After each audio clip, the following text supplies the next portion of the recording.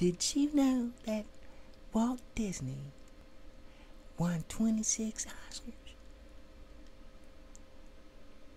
And he's still making money for the industry even though he's passed away.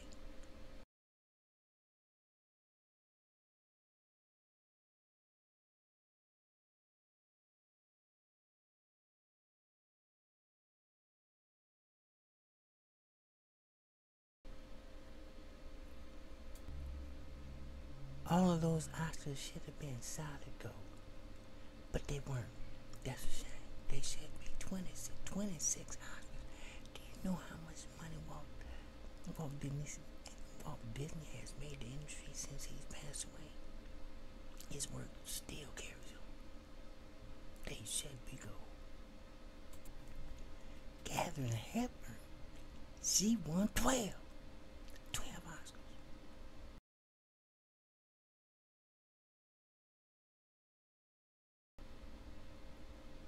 It's not right. The Oscars should be gold. They should be solid gold. They should outlast time. Then gone.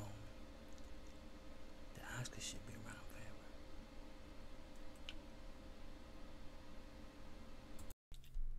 Ladies and gentlemen, my name is Walter Bogart, and I have an interesting story to tell you. It's about the most coveted award in the motion picture industry the Oscar. Marcus Scrap has decided to meddle in the affairs of the upper echelon of the motion picture industry by posing nude as an Oscar. I am honored that Mr. Scrappy, Mr. Scrap, has brought this story to me so I can bring it to the attention of the American public. Mr. Scrap has a valid complaint, and now that he has a complaint,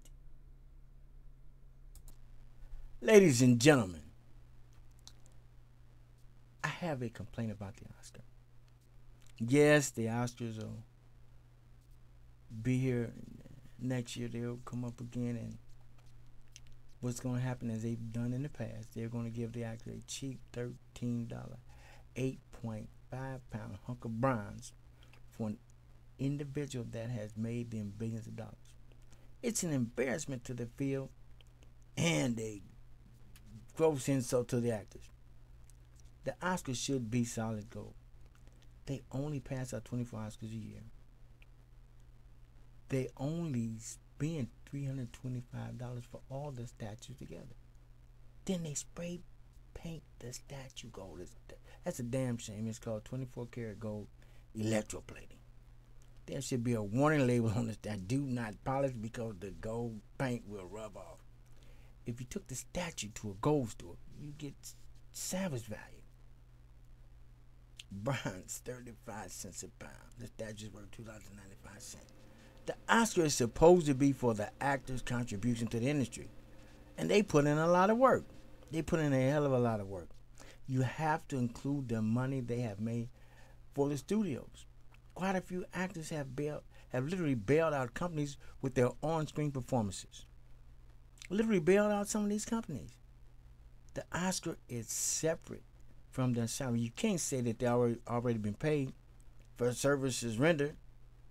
If this was a date, if this was a date, you, they would be called one cheap bastard for only spending two dollars and ninety five cent with billions of dollars in their pocket, made by said actors. After all the actors have done for the industry, the life you live, the mansions, the life and lifestyles you live, maids, butlers, yachts, planes, uh, houses all over the planet. This is not a proper thank you for their contributions to the industry. This is wrong, and the statue should be gold. Why gold? It's a precious metal that lasts a lifetime. The Oscars should outlive time itself. Their work does. Long after they're passed, their work goes on. It continues to bring in revenue. You say you are passing out the gold Oscar, eh, but that's it's really the bronze Oscar. The the rest of the Oscars less than one percent gold paint. It's an embarrassment to the glamorous, lavish, and very lucrative lifestyle that you live when you are prosperous in the film industry. The Oscars should not be worthless. Why? I mean, in here, I I don't know if Bill Cosby ever won an Oscar. If he did, it would be less valuable to collectors at this point, uh, since he's being sent to the penitentiary for about three and a half years for the crimes that he committed against uh, 67 women. The Oscar uh, is like stock, which rises and falls with the actor's reputation. It does not change the value of what the actor has done for the industry. here's another. Here's another thing. The greatest role ever played in Hollywood is the one played by that little statue they call the Oscar. It's not a gold Oscar, but they dressed that piece of bronze up real pretty. the Oscar gets an Oscar for fooling the, the public. Uh, quite a few individuals in the in, in the public for years. Best role ever played in Hollywood. If I was an actor and you presented me that award for my contributions to the industry, and I've made you billions of dollars, and I found out this was bronze, you couldn't walk on that stage and bring me another hunk of bronze, telling me that you appreciate what I've done for you. It's not reflected in the statue that you present to me. It should last forever after the individual has passed away and, and and his work and his efforts and his legend will be carried on with the statues that they presented in the past that's not proper and i can't say that they are not remembered for the working industry but for those that would like to have a piece of the life lifestyle uh, the oscar might not last it might not make it it might be gold it might be gold when it's made by the time they polish it a few times it'll be gold and bronze. And and, and, and, and that's a shame. It shouldn't be like the studio is getting platinum and uranium money from the actor's performance. Afterwards, the studio demonstrates their appreciation by giving the winner a lowly bronze statue. This is an embarrassment to the industry. There is 24 karat, 18 karat, 14 karat, 10 karat, and rose gold.